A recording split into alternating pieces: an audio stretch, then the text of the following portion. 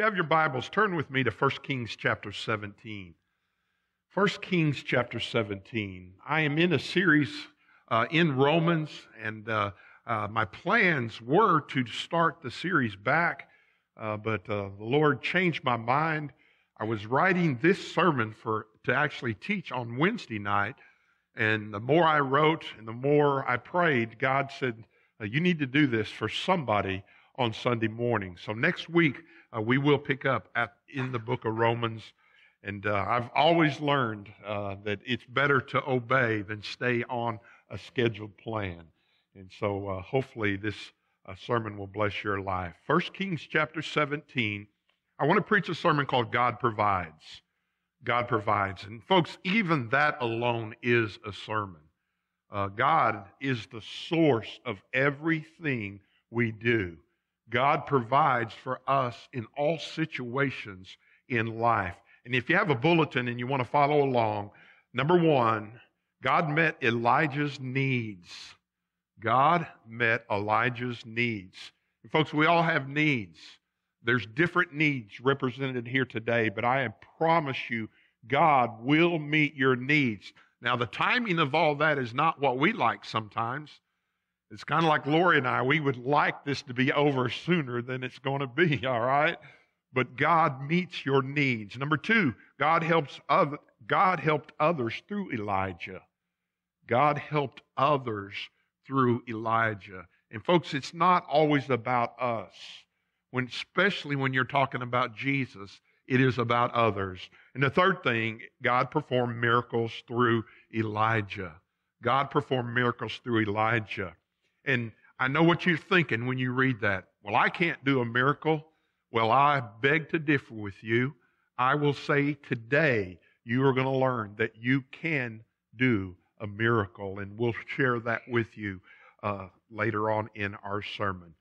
First Kings chapter uh, 17. In First Kings 16, Ahab, the son of Omri, was king over Israel.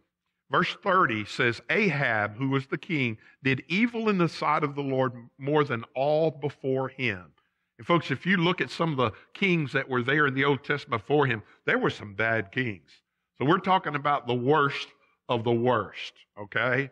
His wife's name was Jezebel, who worshiped Baal and set up altars for Baal in the temple of Baal that, uh, Ahab, that Ahab had erected there. She was determined to wipe out the worship of Jehovah God in Israel. Her plans was to eliminate all worshipers of Jehovah and have everyone in the kingdom worship Baal. Enters Elijah, the prophet of God. God was going, going to use Elijah in a mighty way to protect the people of Israel.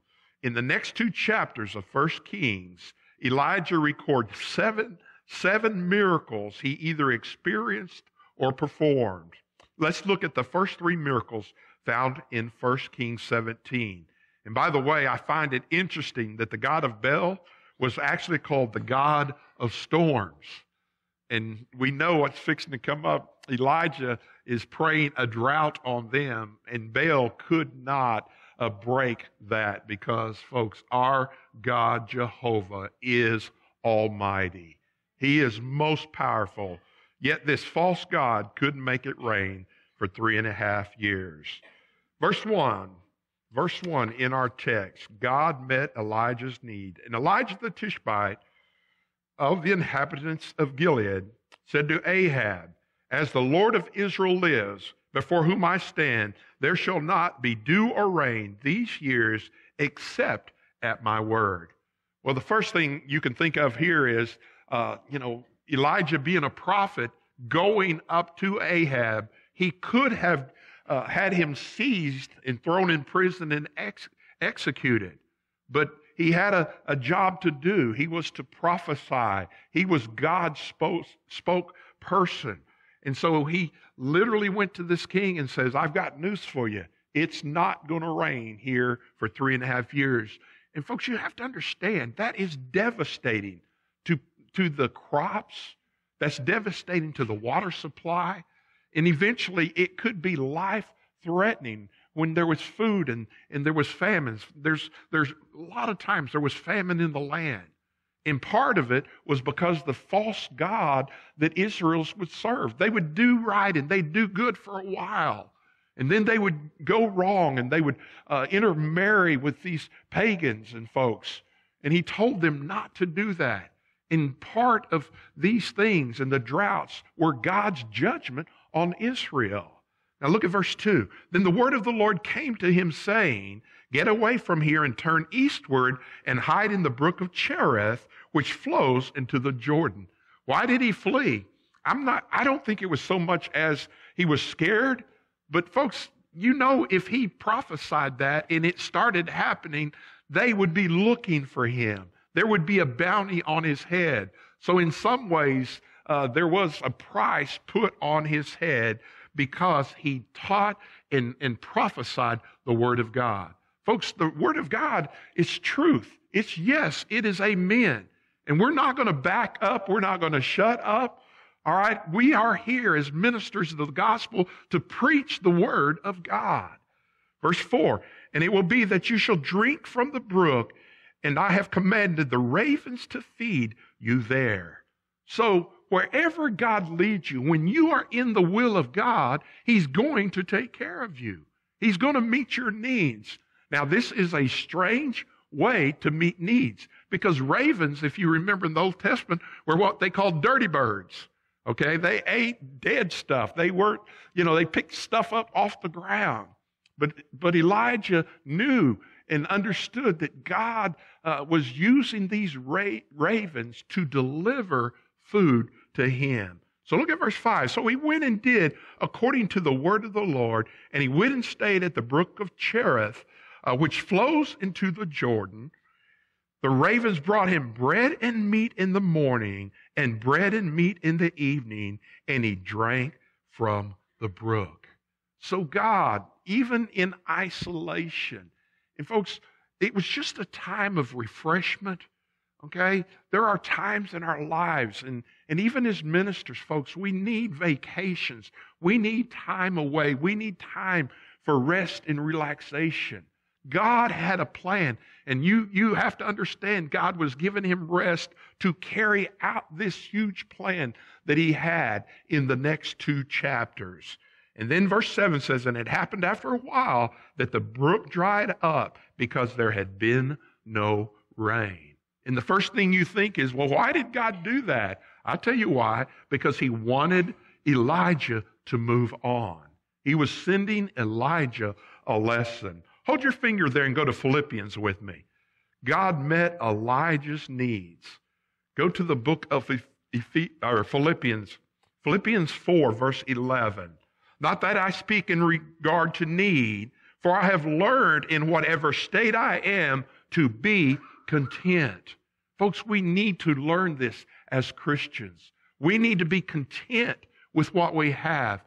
In third world countries, I'm telling you, I've been in five countries, and in the poverty stricken countries, the first thing they think of when they get up, they are looking for wood to start a fire, and they are looking for food to eat.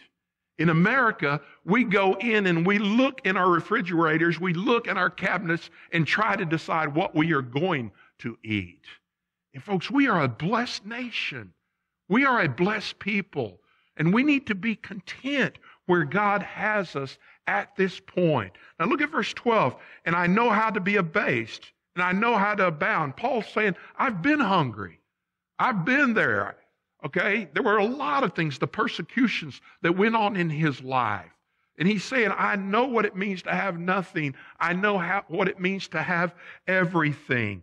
Everywhere in all things, I've learned both to be full and to be hungry, both to abound and to suffer need. And I love this verse. I can do all things through Christ who strengthens me. Oh, listen to me, folks. There are situations in life that we don't understand. There are situations in life like a lost job. Okay, you didn't do anything wrong. They were just downsizing and you didn't have the right amount of years. And these things happen to teach us lessons in life. God is not going to leave you God is not going to have you hungry. God is going to take care of your needs. And while we're there, folks, there's a difference between a need and a want. A need is something you need to have food, shelter, and clothing. A want is things that you just desire. And it's not wrong to have things, folks. It's not wrong. But we need to understand God is the source of everything that we have. God is the source. Folks, it's not the government. It's not the situation that we are in life. My God can do anything, anything, and He will meet your needs according to Scripture. Now skip down to verse 19. And my God shall supply all your needs according to his riches and glory by Jesus Christ. I got news for you folks. Money never runs out where God is. God will provide. We may not have the finest of things. We may not have an abundance of things, but God promises to meet our need. And we find those needs in prayer.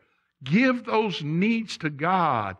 Pray earnestly, and I promise you, He will answer. Now, to our God and Father be glory forever and ever. So we see here, even a miracle here, that God used ravens that brought uh, Elijah bread and meat.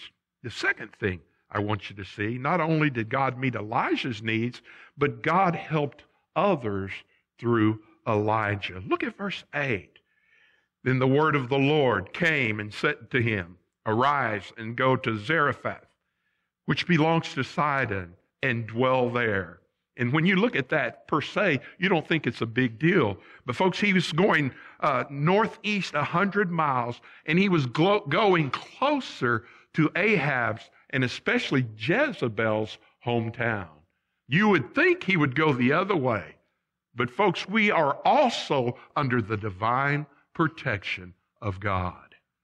God protects us, folks. I think all of us can give testimonies to things, especially in vehicles where we've had close calls. I'm telling you, I was sitting there at the light this week at, at McDonald's and turned left, going to my house and I was watching the traffic go, and this truck was barreling down towards the south. And I saw him and I thought, he's not going to get stopped. Well, the light turns red and he's barreling down through there, and the car behind me starts honking.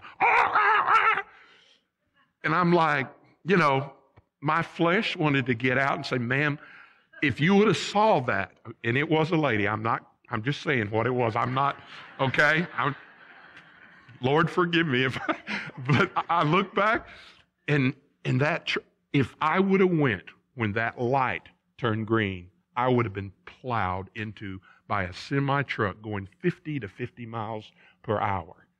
What did God do? God helped me see that truck and and release me of that danger.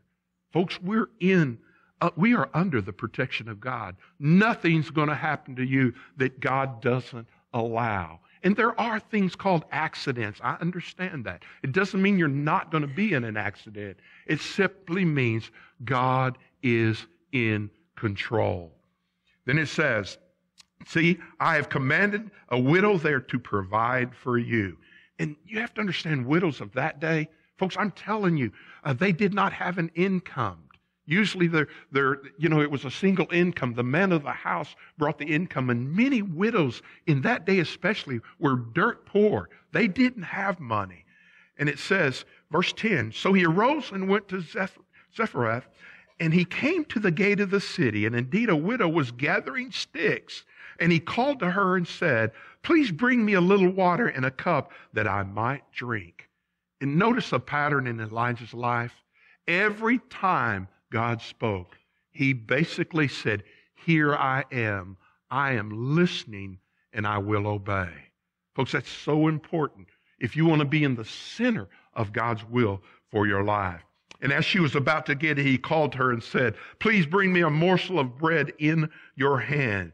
So she said, As the Lord your God lives, I do not have bread, only a handful of flour in a bin and a little oil in the jar. And see, I am gathering a couple of sticks that my, I may go in and prepare it for myself and my son that we may eat it and die. The sticks were running out. Okay, the, the fire for wood. There had not been uh, a year's time had passed and there had been a drought there.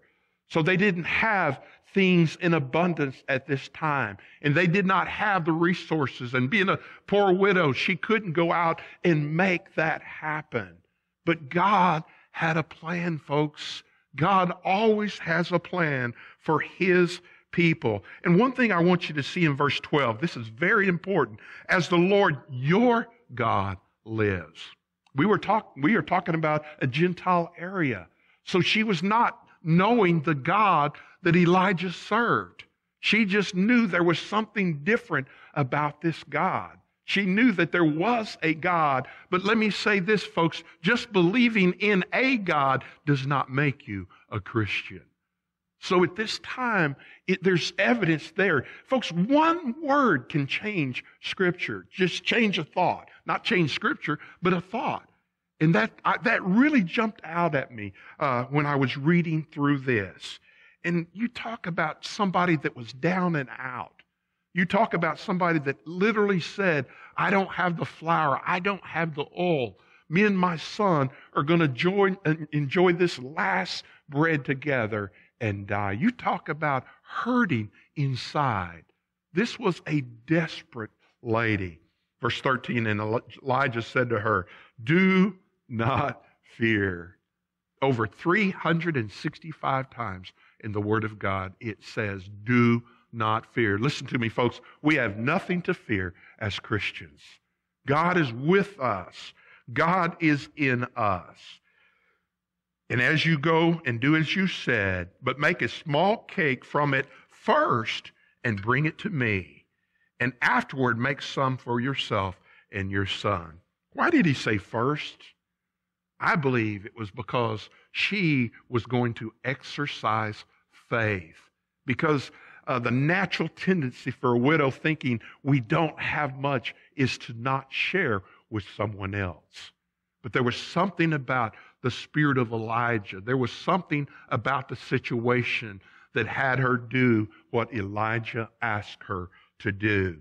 Verse 14, and thus says the Lord, God of Israel, the bin of flour shall not be used up, nor shall the jar of oil run dry until the day the Lord sends rain on the earth. And you have to understand, folks, uh, chronologically, only about a year, maybe a year and a half had passed. So there was still probably two years of drought. And Elijah said, Thus saith the Lord, listen, man, you're going to be taken care of.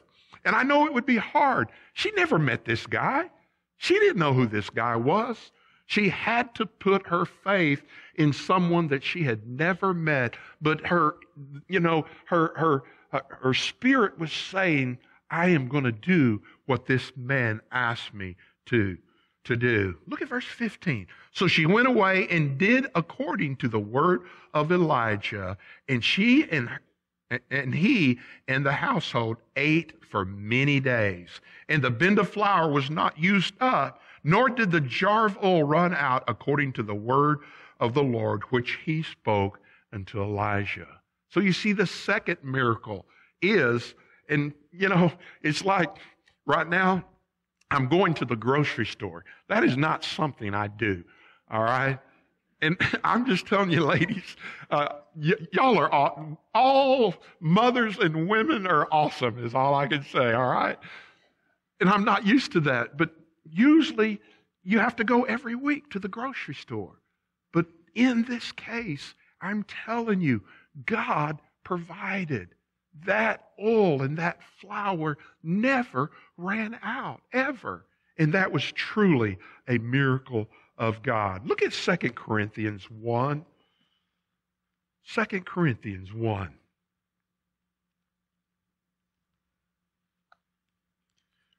Second Corinthians 1, verse 3. Blessed be the God and Father of our Lord Jesus Christ. Folks, I am telling you, we are a blessed people. We are a blessed nation. We are a blessed congregation. Blessed be the Father of Lord Jesus Christ, the Father of mercies. He had mercy on this widow, okay? And the God of all comfort, she thought they were going to die. She thought she was giving her son, her only son, the last meal. But God met that need through a prophet named Elijah, who comforts us in all tribulation. Just because we are Christians doesn't mean we're not going to have problems. We're going to have problems in life. We're going to have persecution in life. But I'm telling you, our God is the problem solver. He is the problem solver. The Word of God uh, has a, a word to all of us. Every situation in life, it can be solved in the Word of God. There's no situation that hasn't already taken place or that is new to you. God knows what He's doing. God is wanting to help you. We just have to yield to Him and to listen to Him and to obey Him that we may be able to comfort those who are in any trouble with the comfort uh, for which we ourselves were comforted by God. Do you know why God blesses you? So that you can be a blessing to others.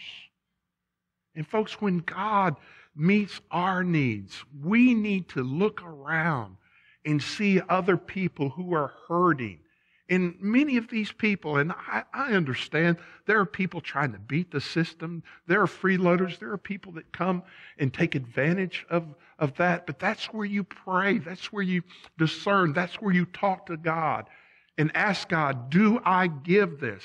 I mean, it's just like panhandlers. They're, they're everywhere. And, and I'm just saying, you have to pray and you have to ask God, do I need to help this person? And here, I'm telling you, God told Elijah, man, I've blessed you. I fed you for a year. You ate meat and bread twice a day. So you take care of this lady. And you ask, well, why would he take Elijah off the scene for three and a half years to meet one lady's need? Because she had a great need. It was twofold. He was hiding. He was waiting for the time to expire there, but he also uh, had Elijah on a mission, which I will share with you in just a second. So, folks, when we, and, and I can say this about our church, when I say a family is hurting, one of our family members, we go way beyond what, what normal is, and we meet that need. And, and I thank God for those who share in ministry to help other people who have needs. So we see God met Elijah's needs. God helped others through Elijah. And number three, God performed miracles through Elijah. Look at verse 17. Now it happened after these things that the son of the woman who owned the house became sick. Folks, people get sick. Okay? Accidents do happen. And uh, the sickness was so serious, there was no breath left in him. And folks, we know in Genesis said God breathed life into Adam, into man. And when the life is gone, or when the breath is gone, there is no life. See, some people want to explain this way and say, well, he's just probably sick and unconscious. Well, folks, if a man's not breathing, he's dead, okay? That's the fact of life. Verse 18. So she, so she said to Elijah, What have I to do with you, O man of God? Have you come to bring uh, my sin to remembrance and to kill my son? Why would she say that? Folks, I'm telling you, it's that motherly instinct. Okay, that motherly instinct kicked in, and just sometimes it kicks in in the blame game. Something happened to him and it's someone's fault. If you remember later on in the New Testament, Jesus came up to a blind man, and, and after the blind man was healed, or, or before the blind man was healed, actually, one of the disciples says, Well, whose fault is that? Is that his or is his parents? And Jesus said, It's nobody's fault. Okay, he was born blind. If a person goes blind, it's not anybody's fault. Okay? It's life. And the same thing was here. And even in her own life, God was working because what she did, first she kind of, in a way, blamed him, and then she blamed herself. She said, I must have done something really bad for God to kill my son. And neither was the case. Look at verse 19. And he said to her, Give me your son. And, and again, for him, for her to just give him, to hand over the body, the dead body of her son, was an act of faith. So he took him out of his arms and carried him to the upper room where he was staying and laid him on his own bed. What did he do? He went away. He wasn't doing it for, for publicity. He wasn't doing it so everyone would see what he see, what, what he was about to see. He was obeying God, and God told him to do this.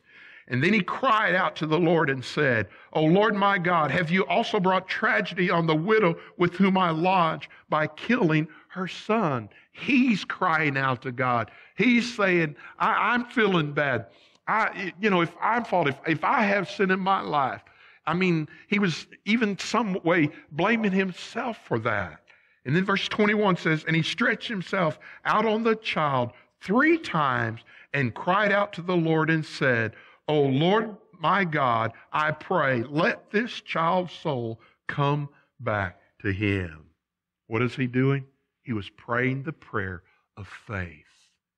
He was acknowledging it. He knew that God could do this.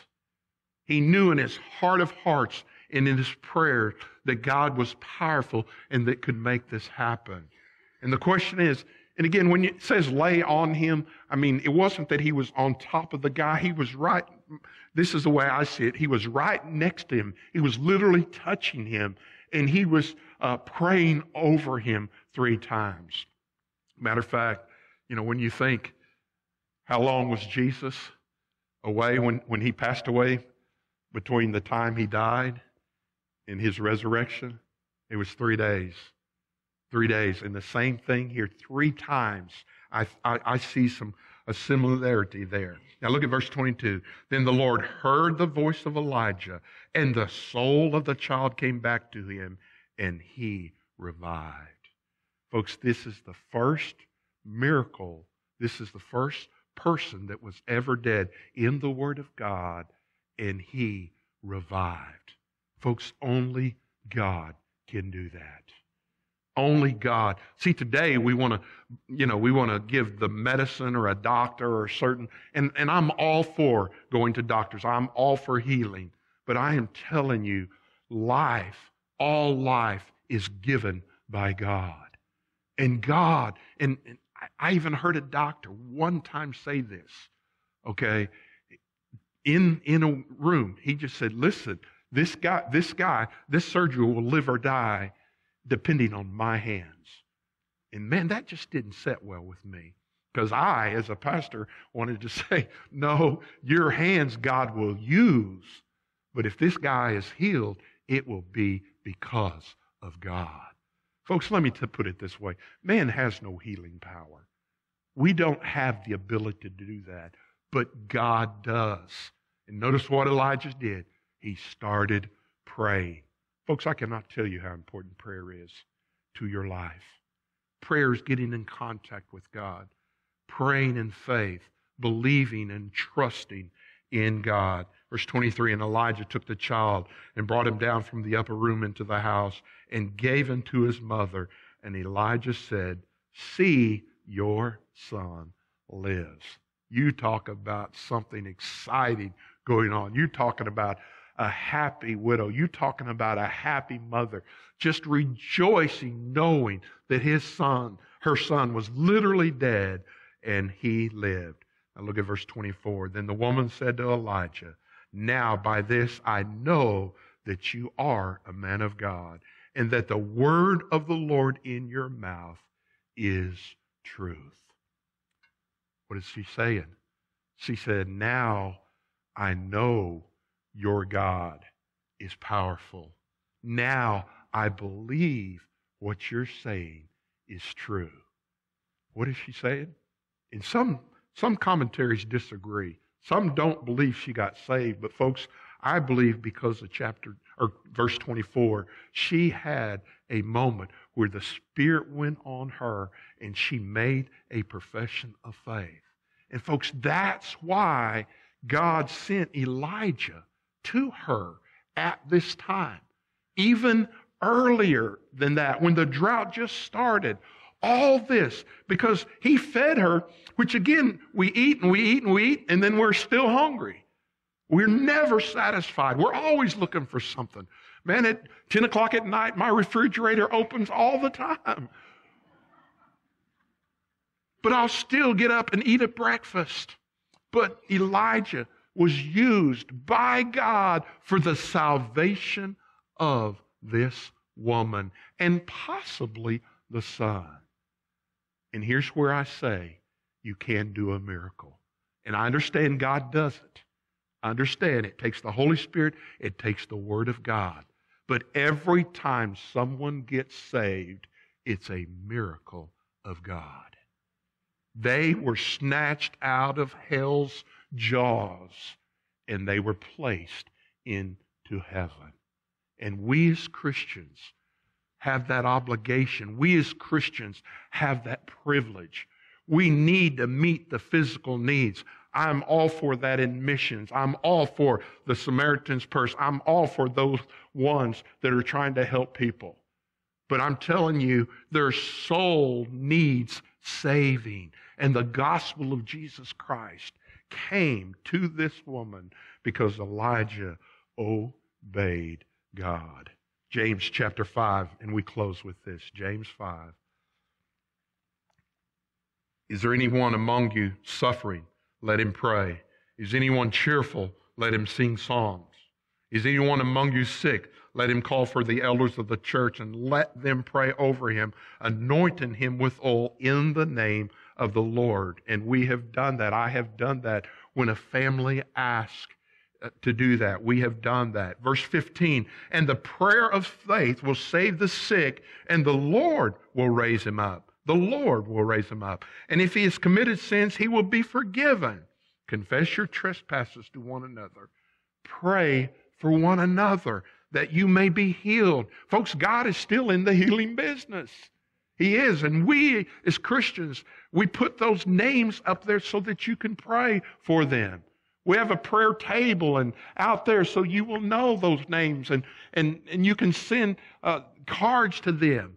Prayer is so important. We still do prayer meeting on Wednesdays nights because we know how important prayer is. Look at this. The effective, fervent prayer of a righteous man availeth much. It doesn't depend on my prayers, but God wants to hear our prayers and we can help through prayers. God does the healing. And look what it says Elijah was a man with a nature like ours. And he prayed earnestly that it would not rain. And it did not rain on the land for three years and six months. And he prayed again, and the heavens gave rain, and the earth produced fruit. Folks, bottom line, there's nothing our God can't do. There's nothing. Whatever you need today, if you have a need today, God can meet that need. Father, thank you, thank you, thank you for your word. And God, I thank you that you, you own the cattle on a thousand hills. I thank you, Lord, that every good and perfect gift comes from you. And God, I pray, and God, I know there's different needs here today. There are people who have came here hurting today. And God, we want to uh, just let them know that God is the answer. We want to let them know that we will pray for them. God, I pray that we would be busy about your business. And Lord, when we get a chance, when you bring somebody our way, God, I pray that we would really consider their spiritual condition. Do they know Jesus Christ? That is the greatest need for mankind is to know you as our personal Lord and Savior. Matter of fact, the only hope in this world, the only hope is Jesus. So God, I pray that you would touch hearts and you would touch lives. I pray that we would take praying seriously and we would pray for the hurting and pray for the lost and to pray for those who've lo- lost loved ones. And that we would be men and women of prayer. And God, if there's one person here that doesn't know you, God, I pray today would be their day of salvation. God, this is your church. This is about you. We want to glorify you and give you the credit for anything that happens. So, God, if a Christian needs to rededicate their life, come for baptism, Lord, I just pray, or even join the church. God, I pray that they would simply listen to the Holy Spirit and obey. God, we love you. We thank you. We praise you. In Jesus' name I pray. Amen. Would you stand to your feet? If God has spoken to you in any way, would you come?